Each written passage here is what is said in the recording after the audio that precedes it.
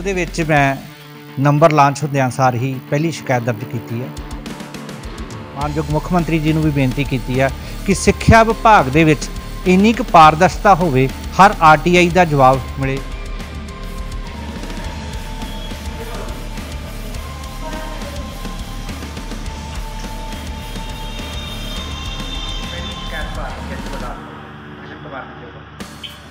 ਠੀਕ ਹੈ। ਮਿਹਰਬਾਨੀ। 12 ਨੰਬਰ ਅੱਜ ਮਾਨਯੋਗ ਮੁੱਖ ਮੰਤਰੀ ਜੀ ਵੱਲੋਂ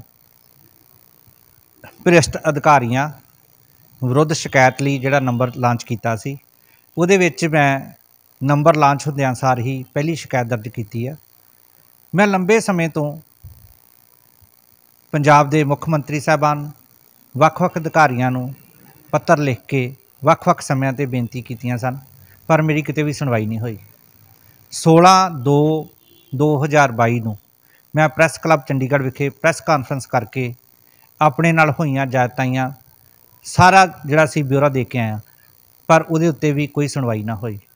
19 ਤਰੀਕ ਤੋਂ ਮੈਂ ਸੀਬੀਆਈ 19 2 ਤੋਂ ਸੀਬੀਆਈ ਜਾਂਚ ਦੀ ਮੰਗ ਕੀਤੀ ਸੀ, ਉੱਤੇ ਵੀ ਕੋਈ ਕਾਰਵਾਈ ਨਹੀਂ ਹੋਈ। ਸਗੋਂ ਸ਼੍ਰੀ ਕ੍ਰਿਸ਼ਨ ਕੁਮਾਰ ਜੀ ਦੇ ਜਿਹੜੇ ਚਹੇਤੇ ਨੇ, ਉਹਨਾਂ ਨੇ ਮੇਰੇ ਨਾਲ ਸੰਪਰਕ ਕਰਕੇ ਜ਼ਰੂਰ ਕਿਹਾ ਕਿ ਤੁਸੀਂ ਪ੍ਰੈਸ ਕਲੱਬ ਚੰਡੀਗੜ੍ਹ ਦੇ ਵਿੱਚ ਵੀ ਕਾਨ ਪ੍ਰੈਸ ਜਿਹੜੀ ਕਾਨਫਰੰਸ ਨਾ ਕਰੋ? ਤੇ ਜਦੋਂ ਮੈਂ ਡੇਰੇ ਬਾਬਾ ਨਾਨਕ ਵਿਖੇ ਕੋਰੀਡੋਰ ਤੇ ਪਹੁੰਚ ਕੇ 1 ਘੰਟੇ ਲਈ ਸੰਕੇਤਕ ਭੁੱਖ ਹੜਤਾਲ ਰੱਖੀ, ਤਾਂ ਉਹਨਾਂ ਨੇ ਕਿਹਾ ਕਿ ਤੁਸੀਂ ਨਾ ਕਰੋ। ਪਰ ਮੈਂ ਆਪਣੇ ਵਿਰੁੱਧ ਹੋਈਆਂ ਜਿਹੜੀਆਂ ਧੱਕੇਸ਼ਾਹੀਆਂ ਸੀ, ਜੋ ਮੇਰੇ ਨਾਲ ਵਾਪਰਿਆ, ਉਹਦੇ ਲਈ ਮੈਂ ਸ਼ਿਕਾਇਤ ਜਿਹੜੀ ਕੀਤੀ ਤੇ ਨਾਲ ਹੀ ਪੰਜਾਬ ਦੀ ਜਿਹੜੀ ਜਵਾਨੀ ਆ, ਉਹਨੂੰ ਸਾਡਾ ਸਿੱਖਿਆ ਦਾ ਪੱਧਰ, ਗੁਣਾਤਮਕ ਪੱਧਰ ਜਿਹੜਾ 27ਵੇਂ ਦਰਜੇ ਤੇ ਪਹੁੰਚ ਗਿਆ। ਲੋਕਾਂ ਦੇ ਵਿੱਚ ਅਸੀਂ ਕਿਹਾ ਕਿ ਅਸੀਂ ਭਾਰਤ ਦੇ ਵਿੱਚ ਪਹਿਲੇ ਨੰਬਰ ਤੇ ਆ ਪਰ ਇਨਫਰਾਸਟ੍ਰਕਚਰ ਤੇ ਪਹਿਲੇ ਨੰਬਰ ਤੇ ਆ ਸਕੂਲਾਂ ਦੇ ਵਿੱਚ ਜਿਹੜੀ ਸਿੱਖਿਆ ਉਹ 27ਵੇਂ ਨੰਬਰ ਤੇ ਆ। ਗੁਣਾਤਮਕ ਸਿੱਖਿਆ ਸਿੱਖਿਆ ਵਿਭਾਗ ਦਾ ਕੰਮ ਬੱਚਿਆਂ ਨੂੰ ਗੁਣਾਤਮਕ ਸਿੱਖਿਆ ਦੇਣਾ। ਇਨਫਰਾਸਟ੍ਰਕਚਰ ਤੇ ਅਸੀਂ ਪਹਿਲੇ ਨੰਬਰ ਤੇ ਪਹੁੰਚ ਗਏ, ਪਰ ਜੇ ਸਾਡੇ ਬੱਚੇ ਜਿਹੜੇ ਉਹਨਾਂ ਦੀ ਸਿੱਖਿਆ ਨਾ ਚੰਗੀ ਰਹੀ ਤੇ ਬਿਲਡਿੰਗਾਂ ਜਿਹੜੀਆਂ ਉਹਨਾਂ ਨੂੰ ਅਸੀਂ ਕੀ ਕਰਨਾ?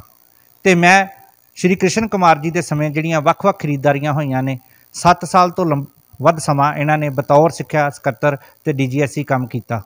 ਉਹਦੇ ਵਿੱਚ ਜਿੰਨੀਆਂ ਖਰੀਦਦਾਰੀਆਂ ਹੋਈਆਂ ਨੇ, ਮੈਂ ਵੱਖ-ਵੱਖ ਆਰਟੀਆਈ ਤਹਿਤ ਉਹਨਾਂ ਦੀਆਂ ਸੂਚਨਾਵਾਂ ਮੰਗੀਆਂ ਨੇ। ਪਹਿਲਾਂ ਤੇ ਮੈਨੂੰ ਪ੍ਰੈਸ਼ਰ ਪਾ ਕੇ ਤੇ ਉਹ ਕਹਿ ਲਿਆ ਗਿਆ, ਵਾਪਸ ਲਓ। ਪਰ ਮੈਂ 69 ਪੁਆਇੰਟ ਦੀ ਇੱਕ ਆਰਟੀਆਈ ਪਾਈ ਆ। ਮੈਂ ਮਾਨ ਜੀ, ਮ- ਮਾਨਯੋਗ ਮੁੱਖ ਮੰਤਰੀ ਜੀ ਨੂੰ ਵੀ ਬੇਨਤੀ ਕੀਤੀ ਆ ਕਿ ਸਿੱਖਿਆ ਵਿਭਾਗ ਦੇ ਵਿੱਚ ਇੰਨੀ ਕੁ ਪਾਰਦਰਸ਼ਤਾ ਹੋਵੇ, ਹਰ ਆਰਟੀਆਈ ਦਾ ਜਵਾਬ ਮਿਲੇ। ਲੋਕਾਂ ਨੂੰ ਪਤਾ ਲੱਗੇ ਕਿ ਸਾਡੇ ਸਿੱਖਿਆ ਵਿਭਾਗ ਦੇ ਵਿੱਚ ਕਿੱਥੋਂ ਕਿਹੜੀ ਚੀਜ਼ ਖਰੀਦੀ ਜਾ ਰਹੀ ਆ? ਕਿਉਂਕਿ ਜੇ ਆਰਟੀਆਈ 'ਚ ਜਵਾਬ ਨਾ ਦੇਣਾ, ਨਾ ਦੱਸਣਾ, ਕਿਹੜੀ ਕਿਤਾਬ ਕਿੱਥੋਂ ਛਪੀ ਆ, ਕਿੰਨੀਆਂ ਕਾਪੀਆਂ ਛਪੀਆਂ ਨੇ, ਉਹਦਾ ਕਿਤੇ ਵੀ ਸਾਨੂੰ ਰਿਕਾਰਡ ਨਹੀਂ ਮਿਲ ਰਿਹਾ ਅਜੇ ਤੱਕ। ਤੇ ਇਹ ਸ਼ਿਕਾਇਤ ਜਿਹੜੀ ਕੀਤੀ ਆ, ਅੱਜ ਮੈਂ ਜੋ ਹੀ ਨੰਬਰ ਲਾਂਚ ਹੋਇਆ, ਸ਼ਿਕਾਇਤ ਕੀਤੀ ਆ ਤੇ ਮੈਨੂੰ ਆਸ ਆ ਆਪਣੇ ਮੁੱਖ ਮੰਤਰੀ ਜੀ ਤੇ, ਇੱਕ ਅਧਿਕਾਰੀ ਤੇ ਜੇ ਕਾਰਵਾਈ ਹੋਏਗੀ ਤੇ ਬਾਕੀ ਅਧਿਕਾਰੀ ਜਿਹੜੇ ਆਉਣ ਵਾਲੇ ਸਮੇਂ 'ਚ ਸੁਚੇਤ ਹੋ ਕੇ ਚੰਗੇ ਕੰਮ ਕਰਨਗੇ।